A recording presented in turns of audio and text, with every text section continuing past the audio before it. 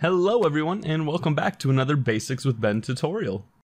In this video we're going to learn how to import and play audio in our lenses. So adding music or sound effects to our project can really increase the immersiveness and overall quality of our lenses. The first step is to import our audio into our project, so let's get started. So when we import our audio files, we'll need to make sure that they are all in MP3 format. It's also important to make sure the audio we are importing follows the submission guidelines. You might want to consider compressing your MP3 files before you import them into Lens Studio so you can save some space on your lenses. Once our audio is imported, we can add them to an audio component in the scene panel. If we check autoplay, the audio will loop automatically when the lens starts. If we uncheck it, then we can play it or stop it manually. Let's say we want to play this sound effect when the user opens their mouth. We can add the behavior script in the Objects panel by clicking Add New, Helper Scripts, Behavior. In the trigger, we'll select Face Event, with the event type being Mouth Opened. Then we'll set the response type to Play Sound.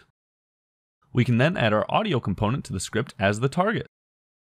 If we didn't want to create an audio component, we could also just add it directly from the Resources panel.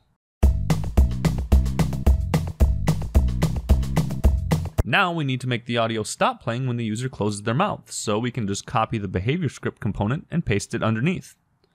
Then we just need to change the trigger event type to mouth closed and change the response action to stop. Now when the user opens their mouth, the audio plays until they close their mouth. You can also add audio effects to your lenses to change your user's voices. In the Objects panel, click Add New, Audio Effect. Then you can select the effect you want and preview how the effect will sound. The audio effect component modifies the audio of a recorded snap.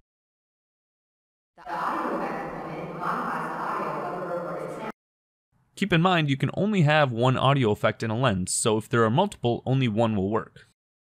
So adding audio can really add some extra immersion to your lenses and give your users a more fun, interactive experience. If you enjoyed that video or even learned something new, go ahead and hit that subscribe button. And if you'd like to learn more about Lens Studio, go check out their channel for even more tutorials.